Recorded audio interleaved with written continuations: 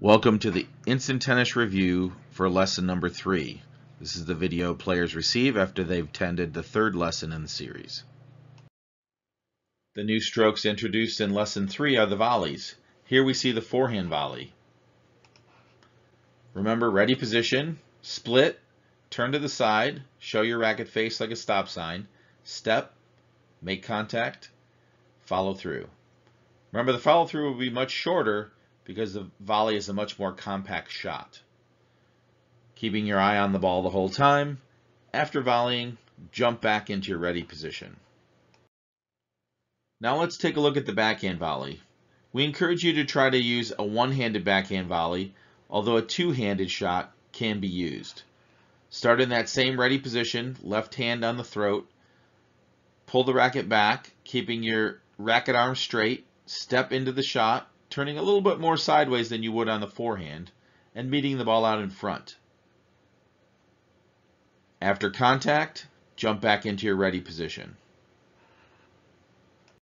In this next section, let's review how to keep score. Remember, this is one of the three things that we must be able to do to play the game of tennis.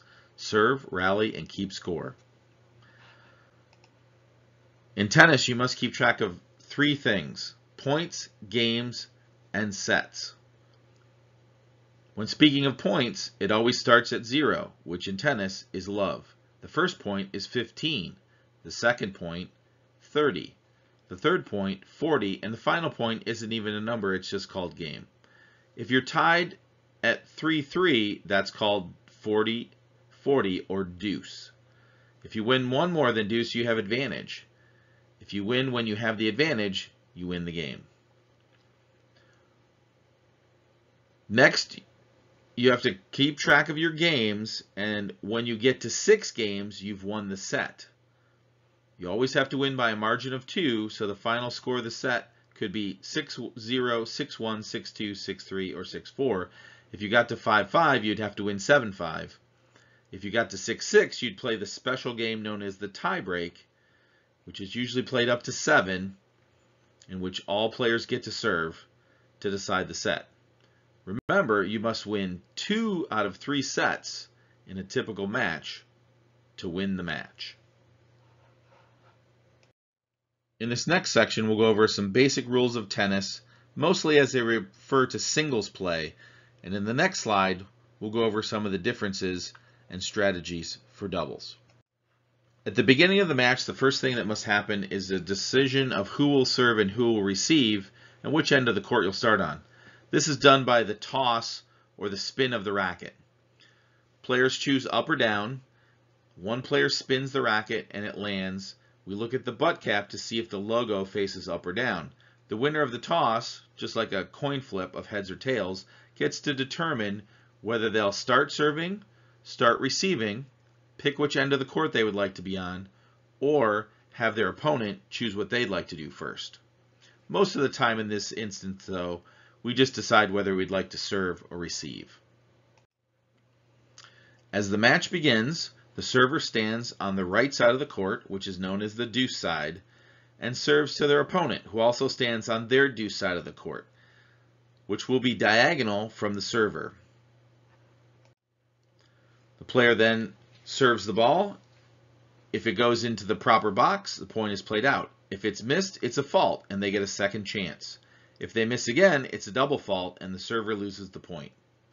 Following that point, the players will switch to the opposite side. Now, this is called the advantage court, or ad court for short.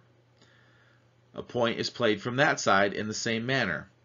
We'll keep switching sides after every point until one player has won the game. Following the completion of the game, the serve will rotate to the other player. The other thing that must happen here is the players must change ends of the court. Remember that the change of ends will occur on the odd numbers after a game 1, 3, 5, and so on. Remember as a receiver that I must let the ball bounce. I'm not allowed to hit the ball out of the air. If I do this, I will lose the point. After the serve is struck and the ball lands on the return, and the players begin to rally the ball back and forth, they can decide whether they want to play it off the bounce or out of the air as a volley or overhead. Remember that the singles court does not include the alley on the side. The single sideline is in, and any other line on the court that the ball hits is in, but not the doubles alley.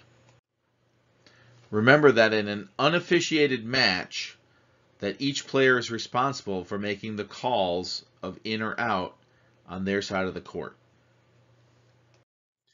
In this next section, we'll go over some more basic rules of tennis, but as they apply to doubles.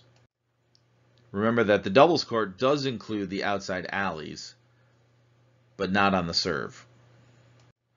The service rotation is established at the beginning of the set. In doubles, the four-player serving rotation is decided at the beginning. When the first team serves, they decide who will be the first server of their for their team. When the other team serves the next game, they decide who the second server will be. The partner of the first server will be the third server, and the partner of the second server will be the fourth server. Thus, a serving rotation is established. This serving rotation must be followed until the end of the set. When a new set begins, the serving rotation can be changed. Also at the beginning of the set, the receiving side is determined. This is determined when your team's first time receiving, you decide who will receive from the right, or the deuce court, and who will receive on the left for the ad court. Players will alternate taking turns receiving and must remain on their side when receiving for the entire set.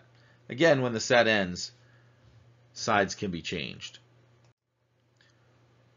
Following the return of serve, players on each side do not have to hit alternately, such as in other racket sports like table tennis.